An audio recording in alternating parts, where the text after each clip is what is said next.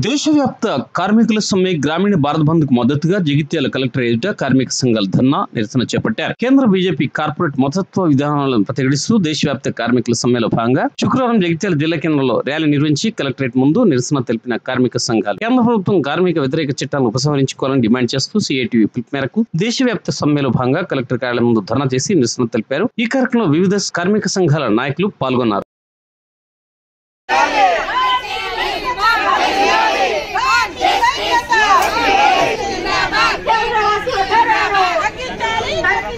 నిత్యావసర వస్తువుల ధరలను దేశవ్యాప్త సమ్మెను దేశవ్యాప్త సమ్మెను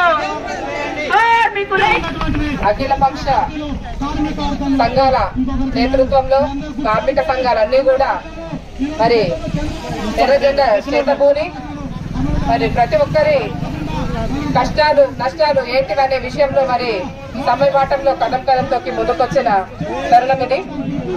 ఏదైతే మరి అన్ని విభాగాల వారిగా మేము ఒక కార్మికుల పరంగా మేము పనిచేస్తున్నాము. రకరకాల పేర్లతోటి మమ్మల్ని పిలుస్తున్నప్పటికీ మరి మున్సిపల్ శాఖ కావచ్చు అంగన్వాడీ తర్వాత ASHA workers ANF second ANF పరంగా తర్వాత మధ్యాహ్న భోజన పథకము మరి మున్సిపల్ అన్ని విధంగా మరి ఏదైతే ఉందో ఎప్పటికీ కూడా మమ్మల్ని ఇటు స్టేట్ గుర్తిస్తలేదు అటు కేంద్ర ప్రభుత్వం కూడా గుర్తిస్తలేదు. ఇక్కడ స్టేట్ అంటారు అక్కడ సెంట్రల్ అంటారు. ఎప్పటికీ కూడా మమ్మల్ని కనీస వేతనాలు సరిగ్గా లేవు. ప్రతి నెల అసలు జీతం అనేది కూడా ఇంత చిన్న చిరు జీతం మీద బ్రతికే ఫ్యామిలీస్ ఉన్నాయి. కుటుంబంలోని పోషించుకునే పరిస్థితులను మరి ఎట్లా అప్పు సప్పు వేసుకొని మరి ముందుకు తీసుకెళ్ళినా కూడా అభివృద్ధించడానికి కూడా సరిగా లేని పరిస్థితులు జీవనం అనేది కొనసాగుతుంది. మరి ఇప్పటికీ కూడా మరి ఈ పనితీరుని ఇంకా పని భారాన్ని పెంచుతున్నారు కానీ పని అనేది తగ్గించడం అనేది ఎక్కడ లేదు. ఏమన్నా అంటే హుకుం చెలాయించే పరిస్థితుల్లో చిన్న చిన్న మరి ఉద్యోగాలు చేసుకుంటూ బతుకుతున్న కుటుంబాలవి. మరి ఈ రోజున మేము అందరం కూడా సంయుక్తంగా కార్మిక పోరాటం అనేది చేస్తున్నాం. మరి ఏదైతే ఉందో నెలల వారీగా జీతాలను ప్రతి నెల ఐదో డేట్ లోపలనే విడుదల చేసే ప్రయత్నం అనేది ప్రభుత్వం చూపించాలి. అట్లాగే కేంద్ర ప్రభుత్వం ప్రైవేటీకరణ అనేది కూడా నశింపజేసే విధంగా మరి ఈ రోజు కార్మిక సంఘ చట్టాలన్నీ కూడా ముందుకు ఉన్నాయి. వాటి ద్వారానే తద్వారా ఏదైతే ఉందో మాకు రెగ్యులరేషన్ అనేది కల్పించాలి. మరి అలాగే మరి సోదరులు మున్సిపల్ శాఖ కావచ్చు అంగన్వాడీస్ కావచ్చు ఆశా వర్కర్లు కావచ్చు మధ్యాహ్న భోజన భోజన పథకం కావచ్చు అందరికీ కూడా సమాన పనికి సమాన వేతనం అనేది కూడా ఇవ్వాల్సిన బాధ్యత ఎంతైనా మరి ప్రజాస్వామ్యంలో మేము సైతం అన్ని విధాలుగా ఓటు వేసి గెలిపించుకుని ఈ ప్రభుత్వాలను తీసుకొచ్చుకున్నది. అయినప్పటికీ కూడా ఏది కూడా మొండి వైఖరి అనేది చూపిస్తే ఇక ముందు కూడా మరి ఇలాంటి ధర్నాలు సమ్మెలు మరి అందరం కూడా కలిసికట్టుగా కార్మిక సంఘాల నేతృత్వంలో ఇంకా ముందుకు తీసుకువెళ్ళే పరిస్థితి ఉంది కనుక ఖచ్చితంగా మాకు న్యాయం చేయాలని చెప్పేసి సభాముఖంగా మేము తెలియజేస్తున్నాం. థ్యాంక్ యూ వెరీ మచ్ పేరు చెప్పి ఆ. శ్రీకాంత్ సిఐటియు రాష్ట్ర కార్యదర్శి.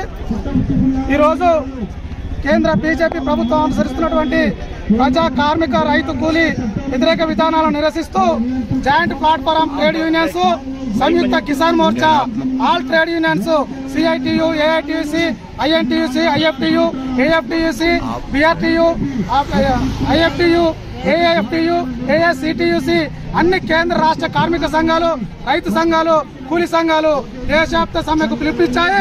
ఈ పిలుపులో భాగంగా ఈ రోజు జగిత్యాల జిల్లాలో మొత్తం కూడా గ్రామీణ బంధు కార్మిక సంఘం కార్మిక సమ్మె విజయవంతంగా నడుస్తూ ఉన్నది. ఈ సమ్మె సందర్భంగానే జైత్యాల పట్టణంలో పెద్ద ఎత్తున ర్యాలీ నిర్వహించి కలెక్టర్ కార్యాలయం ముందు ధర్నా నిర్వహించడం జరుగుతూ ఉన్నది. ఈ రోజు మేము కేంద్ర బీజేపీ ప్రభుత్వాన్ని ఒకటే డిమాండ్ చేయాల్సుకున్నాం. ఈ రోజు స్వతంత్రం రాకముందు నుంచి కార్మిక సంఘాలు పెద్ద ఎత్తున పోరాటం చేసి కార్మిక చట్టాలను తెచ్చుకున్నటువంటి పరిస్థితి ఉంది.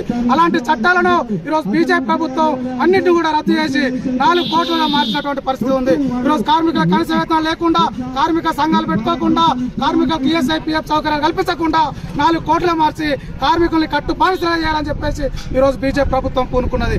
ఆ కార్మిక కోట్లను రద్దు చేసి యథావిధిగా కార్మిక చట్టాలను అమలు చేయాలని చెప్పేసి అన్ని కార్మిక సంఘాలు ఈరోజు ప్రభుత్వాన్ని డిమాండ్ చేస్తా ఉన్నది. అంతేకాదు ఈరోజు రైతు సంఘాలు కూడా రైతులకు వాళ్ళను భూమి పాలు చేసే విధంగా వాళ్ళని వ్యవసాయం చేసుకోకుండా వాళ్ళ గిట్టుధర పాటు ధర కల్పించకుండా నల్ల చట్టాలు నాలుగు తీసుకొచ్చి వాళ్ళని కూడా ఈ రోజు అన్యాయం చేసేటువంటి పద్ధతిలో కేంద్ర బీజేపీ ప్రభుత్వం పూనుకున్నది. ఆ చట్టాలను వ్యతిరేకిస్తూ గత సంవత్సరం పెద్ద ఎత్తున రైతాంగం ఢిల్లీ నడివట్టున పెద్ద ఎత్తున పోరాటం చేసి నాలుగు నల్ల చట్టాలను వెనక్కొట్టినటువంటి పరిస్థితి ఉన్నది.